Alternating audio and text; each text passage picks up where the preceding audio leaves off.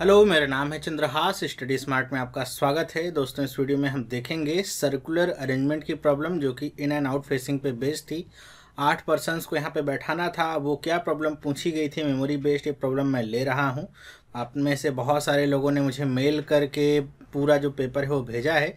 तो उसी में से मैं ये आपको क्वेश्चंस करा रहा हूँ। तो लाइन से मैं आपको सारे क्वेश्चंस करा दूँगा। इंग्लिश के रीजनिंग के मैथ के, जितने मुझे मिले हैं, वो सारे क्वेश्चंस मैं कराने का प्रयास करूँगा। और ये आपको ऐसा नहीं कि पेपर हो गया तो हेल्प नहीं करेगा। इससे आपको बहुत ज़्यादा स्टडी समझने में हेल्प मिलेगी। चाहे आप क्लर्क का एग्ज़ाम देने जा रहे हैं ऊपरी का तो उसमें भी आपको समझ में आएगा कि कैसे लेवल के क्वेश्चंस आ रहे हैं। पीओ में तो उससे थोड़ा सा नीचे लेवल के हो सकता है क्लर्क में है तो आपको अच्छे से नॉलेज होगी। चलिए देखते हैं। सबसे पहली बात तो ये कि स्टार्ट करूँ मैं क्वेश्चन, मैं तो सॉल्व कर दूँगा। यहाँ पे कोई टाइम की लिमिट नहीं है। एक घंटे, आधे घंटे, दो घंटे, जितना चाहे मैं ले सकता हूँ। लेकिन एग्ज़ाम में आपको इतना समय नहीं मिलता है। तो एग्ज़ाम में मैं सबसे पहले बात करूँ कि अगर इस तरह का अरेंजमेंट आता है, आपको करना चाहिए कि नहीं, कर सकते हैं कि नहीं? तो हाँ अगर केवल अरेंजमेंट है तो आप इसे आसानी से कर सकते हैं प्री में। पज़ल के रूप में अगर इसे बनाया जाएगा मतलब इन एंड आउट फेसिंग भी रहे, उसके साथ साथ कोई पैरामीटर भी रहे तो मैं कहूँगा उसे आप स्किप कर दीजिए। स्किप करने का मतलब छोड़ दीजिए, करिए ही नहीं नहीं। स्किप करके और जो क्वेश्चंस हैं पाँच पाँच नंबर के जो बंच में क्वेश्चंस आते हैं, उनको करिए, फिर समय बचेगा तो करिएगा। लेकिन अगर केवल अरेंजमेंट है, जिसमें केवल लोगों को बैठाना है और कोई वेरिएबल यहाँ पे अटैच नहीं है, फिर आप इसको तुरंत के तुरंत कर सकते हैं। हार्डली दो से तीन मिनट में आप इसको सॉल्व कर पाएँगे एग्ज़ाम टाइम में, ठीक है? तो ये डुएबल पजल थी जो आप एग्ज़ाम में कर सकते थे। देखिए कैसे करेंगे। लिखा हुआ A B C D E F and G are eight friends sitting around a circular table but not necessarily in the same order ये आठ लोग हैं, किसी सर्कुलर टेबल के अराउंड बैठे हुए हैं सेम ऑर्डर में नहीं। लिखा हुआ है some of them are facing inside some of them are facing outside कुछ लोग अंदर की तरफ़ फेस कर रहे हैं, कुछ लोग बाहर की तरफ़ फेस कर रहे हैं। तो ये आपका हो गया इन्फॉर्मेशन में इसके बाद कंडीशन स्टार्ट है। पहली कंडीशन क्या है? A sits third to the right of H A कहाँ पे बैठता है? एच के राइट में थर्ड पे। अभी ये नहीं पता चला कि ए किधर की तरफ़ मुँह किया हुआ है या फिर एच किधर की तरफ़ मुँह किया हुआ है। तो क्या करेंगे हम यहाँ पे? अगर ऐसा पता नहीं, मैंने पहले भी कई बार करवाया है आपको। पता जब ऐसे नहीं होता है तो हमें स्टार्ट में हमको दो यहाँ पे लेने पड़ते हैं सर्कल्स मतलब सर्कुलर टेबल दो हम बनाते हैं। एक में हम क्या करेंगे? यहाँ पे आठ पोजीशंस पहले बना देते हैं। आठ पोजीशंस तो रहेंगे ही। एक में हम क्या करते हैं? एच को इनसाइड लेते हैं और एक में एच को आउटसाइड लेते हैं। तो हमारी पज़ल ये, या पज़ल क्या कहूँ सेटिंग अरेंजमेंट ये बन जाता है। तो एक में मैं ले लेता हूँ एच किधर की तरफ़ फेस कर रहा है इनसाइड और एक में एच किधर की तरफ़ फेस कर रहा है आउटसाइड ठीक है, ये आउटसाइड की तरफ़ फेस कर रहा है। अब अगर एच इनसाइड फेस कर रहा होगा तो ए कहाँ पे बैठा है? कह रहा है कि राइट हैंड साइड में तीसरी पोजीशन पे। तो इधर राइट होगा, इस तरफ़ राइट होगा तो एक, दो, तीन ए कहाँ पे आ गया? यहाँ पे। लेकिन अभी एक ही पोजीशन नहीं पता चली, अंदर फेस कर रहा है, बाहर फेस कर रहा है। फिर देखिए, नीचे यहाँ पे, अगर देखिए तो यहाँ पे एच किधर तरफ़ फेस करके बैठा है? आउटसाइड तो आउटसाइड अगर एच फेस करके बैठा है तो इसका राइट अब किधर होगा? अब इसका राइट किधर हो जाएगा? इस तरफ़ की तरफ़ हो जाएगा। तो एक, दो, तीन, यहाँ पर पे आप ए को बैठा दीजिए। नेक्स्ट देखते हैं और आगे कंडीशन क्या है? There is two people sit between H and B H और बी के बीच में दो लोग बैठे हुए हैं। तो ये तो आसान है। देखिए एच और बी के बीच में दो लोग बैठे हुए हैं। तो देखिए, अगर मैं पहली कंडीशन में जाऊँ तो किस तरफ़, अब बी को बी किधर बैठा है, ये नहीं पता है लेफ़्ट या राइट में, लेकिन ये पता है एच और बी के बीच में दो लोग हैं। अब अगर मैं लेफ़्ट हैंड साइड पे जाऊँ, दो लोगों को, छोड़ को देखूँ तो यहाँ पे ए पहले से ही बैठा हुआ मतलब बी तो यहाँ पे आ नहीं सकता। तो एक ही कंडीशन बचेगी कि लेफ़्ट की तरफ़ मैं जाऊँ और यहाँ पे बी को बैठा दूँ। दो पॉसिबिलिटीज़ हो सकती थी, लेकिन यहाँ पे ए पहले ही बैठा हुआ है तो यहाँ पर ही बी बैठेगा। सेम यही केस इसमें भी होगा कि इधर आप जाएँगे, दो लोगों को देखेंगे, दो लोग बीच में बैठे हैं, फिर तो ए आ गया इधर तो आप राइट हैंड साइड में नहीं जा सकते हैं तो लेफ़्ट हैंड साइड में इधर जाएँगे और यहाँ पे बी को बैठा देंगे। नेक्स्ट आगे देखें क्या लिखा हुआ है? C sit second to the left of B C कहाँ पे बैठा हुआ है? बी के लेफ़्ट में सेकेंड हैंड साइड पे। तो सी की पोजीशन आपको पता नहीं चल रही है कि ये बी किस तरफ़ मुँह करके बैठा हुआ है? अंदर की तरफ़ या बाहर की तरफ़ लेफ़्ट और राइट वहीं से तो आप डिसाइड करते हैं। लेकिन देखिए क्या कह रहा है? लेफ़्ट में सेकंड नंबर पे बैठा हुआ है। तो अगर मैं यहाँ पहली वाली कंडीशन में जाऊँ तो अगर मैं देखूँ, सोचूँ कि बी आपका अंदर की तरफ़ फेस करके बैठा हुआ है तो लेफ़्ट हैंड साइड पे देखूँ तो यहाँ पर तो ए आ गया है। तो सेकंड पोजीशन पे सी के आने का तो कोई चांस है नहीं। इसका मतलब सी किधर आएगा? इधर ही बैठ सकता है सेकेंड हैंड साइड पर बी के। मतलब बी के रेफरेंस को अगर आप लेकर के चलिए तो इसके सेकेंड पोजिशन पे एक तरफ़ ए है और दूसरी तरफ़ खाली स्थान है तो ए की जगह पे सी को तो बैठाएँगे नहीं तो इसी तरफ़ सी को बैठाएँगे। लेकिन इससे डिसाइड क्या होगा? इससे डिसाइड ये हो गया कि बी किधर की तरफ़ फेस किए हुए है? बाहर की तरफ़। क्यों? बाहर की तरफ़ फेस करेगा, तभी तो ये इस तरफ़ इसका लेफ़्ट होगा। सेम कहानी इसमें भी। इस तरफ़ सेकंड आप जाएँगे तो देखेंगे ए बैठा हुआ है तो आपको इसी तरफ़ सेकंड जाना पड़ेगा और यहाँ पे सी को बैठाएँगे। अब सी को अगर आपने यहाँ पे बैठाया है तो इसका मतलब क्या है? बी किधर की तरफ़ फेस करेगा? कि ये इसका लेफ़्ट पड़े तो ये अंदर की तरफ़ फेस करेगा, तभी तो इसका क्या पड़ेगा? लेफ़्ट पड़ेगा ओके ऐसे ही छोटी छोटी इन्फॉर्मेशन आपको कन्वर्ट करनी है। फिर देखें, क्या लिखा हुआ है? देर इज़ थ्री पर people sit between B and E B और ई के बीच में तीन लोग बैठे हुए हैं तो इसका सीधा मतलब क्या होता है? आठ लोग अगर हों और ऐसे कहे कि दो पर्सन के बीच में तीन लोग बैठे हैं तो इसका सीधा मतलब होता है डायगनली अपोजिट उस पर्सन को बैठाना है। तो बी यहाँ पे है, तीन पर्सन का गैप चाहे इधर से छोड़िए, चाहे इधर से छोड़िए, आप यहीं पे पहुँचेंगे, यहाँ पे ई e होगा।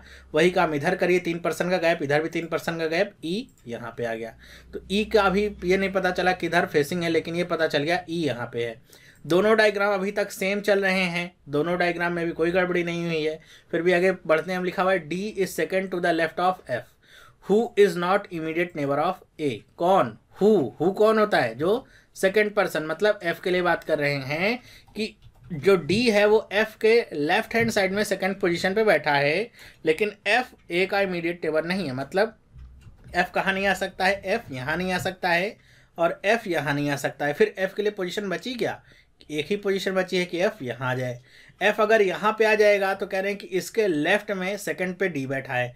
तो इसके सेकंड में आप देखिए पोजीशन खाली है, इस तरफ़ आइए सेकंड देखिए तो ये तो एच बैठा हुआ है। तो सेकंड में क्यों लिखी जगह पोजीशन खाली वो है, यहाँ पे डी तो ये डी लेफ़्ट में बैठा है सेकंड पे तो लेफ़्ट में सेकंड तभी बैठ सकता है जब एफ़ का फेस किधर हो? अंदर की तरफ़, तभी ऐसा हो सकता है। सेम केस हम इसमें लगाते हैं एफ़ यहाँ पे नहीं बैठ सकता और एफ़ यहाँ पे नहीं बैठ सकता तो एफ़ कहाँ पे बैठेगा? यहाँ पे सेकंड पोजीशन पे यहाँ पे एच है और यहाँ पे सेकंड पोजीशन पे जाइए, वही पे प्लेस केवल खाली है तो यहाँ पे बैठा देंगे डी को। लेकिन लेफ़्ट हैंड साइड में होना चाहिए लेफ़्ट तभी हो सकता है जब एफ़ का फेस किधर हो?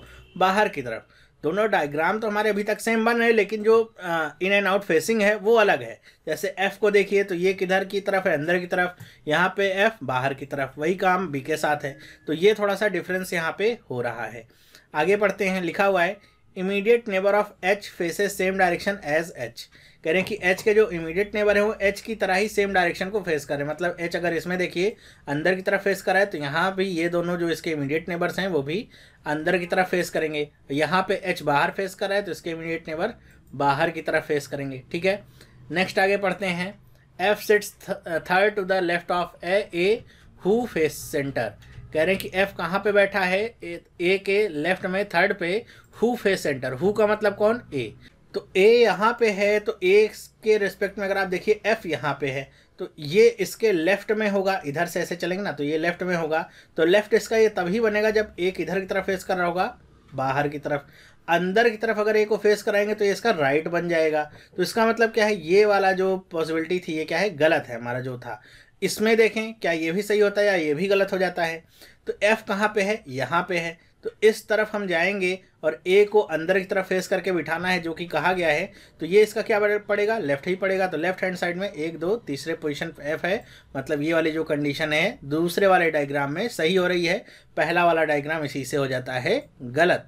अब कौन सा पर्सन यहाँ पे बैठना बाकी रह गया? यहाँ पे जी बैठेगा, ये पक्का है, लेकिन अभी डायरेक्शन नहीं क्लियर है। लिखा हुआ था immediate neighbour of A face opposite to the direction of A कह रहे हैं कि जो ए के इमीडिएट नेबर हैं, वो ए के अपोजिट डायरेक्शन को फेस करेंगे मतलब ये जी भी बाहर की तरफ़ और डी भी बाहर की तरफ़ फेस करेगा। तो यहाँ पे आपका पूरा अरेंजमेंट बन जाता है और आपको क्या समझ में आता है कि यहाँ पे देखिए तो कितने लोग बाहर की तरफ़ फेस कर रहे हैं? तो छः लोग बाहर की तरफ़ फेस कर रहे हैं और दो लोग अंदर की तरफ़ फेस कर रहे हैं। इसीलिए यहाँ पे कहा गया था some of facing inside and some of facing outside ऐसा नहीं कहा था कि चार इनसाइड हैं, चार आउटसाइड हैं। ये बहुत सारे लोग समझ लेते हैं इसको। एक बार और मैंने ऐसा प्रॉब्लम बताया था, जिसमें दिक्कत हुई थी तो मैंने आपको वहीं पर बता दिया था। अगर सम लिखा रहे तो आप ये समझ जाइएगा कि वहाँ पर ऐसा नहीं हो सकता है कि चार चार नहीं हो। वो भी हो सकता है, लेकिन उसके अलावा भी पॉसिबिलिटीज़ बन सकती हैं। तो अगर आपके डायग्राम में चार से अधिक लोग अंदर बैठ रहे हैं, अंदर की तरफ़ फेस करके बैठ रहे हों, या फिर बाहर की तरफ़ फेस करके बैठ रहे हो तो आप ये मत सोचिएगा कि मैंने गलत कर दिया है। चार चार ही होना चाहिए। नहीं, आपने गलत नहीं किया है। अगर वो चार चार ही होते इन एंड आउटसाइड तो यहाँ पे लिखा होता। जब सम लिखा है, इसका मतलब कोई भी क्लियर यहाँ पे डेटा नहीं प्रोवाइड किया गया है। तो ये हो जाती है आपकी अरेंजमेंट ऐसे पूरी। सारे लोग बैठ गए, सारी कंडीशन सही हैं, सारी डायरेक्शन आपको पता चल गई। अब इसके ऊपर आपसे क्वेश्चंस पूछे जा सकते हैं। जैसे क्वेश्चन पूछा जा सकता है कि डी और ई e के बीच में अगर हम एंटी क्लॉकवाइज चल के देखें तो कितने लोग बैठेंगे? तो डी और ई e के बीच में एंटी क्लॉकवाइज आप चलिए तो एंटी क्लॉकवाइज चलेंगे तो किधर से चलेंगे? अगर हम डी से स्टार्ट करें एंटी क्लॉकवाइज चलना तो डी से अगर आप एंटी क्लॉकवाइज चलना स्टार्ट करेंगे तो इधर आएँगे, देखेंगे दो लोग हैं ए और जी ऐसे भी पूछा जा सकता है कि आपको ऐसे दे देगा कि A D F C H इनमें से कौन सा ऑड वन है? तो आपको पता है इन सब में, सब के सब तो बाहर की तरफ़ फेस किए हुए बैठे हैं, बस ए ऐसा है जिसका फेस क्या है? अंदर की तरफ़ है। तो ऐसे ही बहुत सारे क्वेश्चन इसमें से आपसे पूछे गए होंगे, आपने एग्ज़ाम दिया होगा तो आपको पता होगा कि क्या क्या क्वेश्चंस पूछे गए थे। मेन था अरेंजमेंट बनाना, जो मैंने आपको बता दिया कि आप इसको एग्ज़ाम में आसानी से बना सकते थे। डुएबल था। इसके साथ अगर कोई एक एक भी अगर पैरामीटर लगा होता तो थोड़ा सा आपके लिए कठिन हो जाता। मतलब फिर आप पाँच मिनट से पहले से एग्ज़ाम में नहीं बना सकते। एग्ज़ाम में थोड़ा सा ये डिफ़िकल्टी होती है। टाइम बढ़ जाता है बनाने का, ठीक है? और जब इन साइड हो आउट साइड हो, उसके बाद अरेंजमेंट भी हो उसके साथ कि कोई और पैरामीटर लगा दिया गया है तो थोड़ा सा यहाँ पर डिफ़िकल्टी लेवल बढ़ जाता है। तो वो आप इसको करते तो मैं कहता कि उसको आप स्किप कर देते। बाद में करते, अगर टाइम मिल जाता तो कर सकते थे, ठीक है? तो ये तो था अरेंजमेंट मेरे ख्याल से आपको समझ में आएगा कोई क्वेश्चन होगा तो आप मुझे कमेंट करके पूछ सकते हैं। और आपके पास भी अगर क्वेश्चंस हैं अभी पी एस पी प्री से रिलेटेड तो उन्हें कमेंट करके और मुझे मेल आईडी पे भेजना, बिल्कुल भी ना भूलें। और इसको जितना ज़्यादा आप शेयर कर सकते हैं अपने दोस्तों के साथ, उतना ही ज़्यादा इसे शेयर करने की कृपा करें। तो इस वीडियो में बस इतना ही। अगर आपको वीडियो पसंद आया है तो इसे लाइक और कमेंट करके मुझे ज़रूर बताएँ। और अगर वीडियो देखने के बाद भी आपके मन में कोई प्रश्न उठ रहे हो तो उन्हें आप कमेंट सेक्शन में पूछ सकते हैं। वीडियो अगर आपको पसंद आया है तो इसे सिर्फ़ अपने तक ही सीमित ना रखें, बल्कि अपने दोस्तों तक भी इसे ज़रूर पहुँचाएँ, जितना ज़्यादा हो सके इसे शेयर करें। और अगर आप इस चैनल पर नए हैं, अभी तक आपने चैनल को सब्सक्राइब नहीं किया है तो इसे आज ही सब्सक्राइब कर लीजिए, जिससे इस तरह की जो इंपॉर्टेंट वीडियोज़ हैं, आपको मिलती रहेंगी। और सब्सक्राइब करने के बाद आप बेल आइकन को ज़रूर प्रेस करिएगा। जिससे आपके लिए कोई भी जो अपडेट हो, मिस ना हो पाए आपसे और आपको हर एक अपडेट मिलती रहे। अब हम मिलेंगे नेक्स्ट वीडियो में। तब तक के लिए have nice day and bye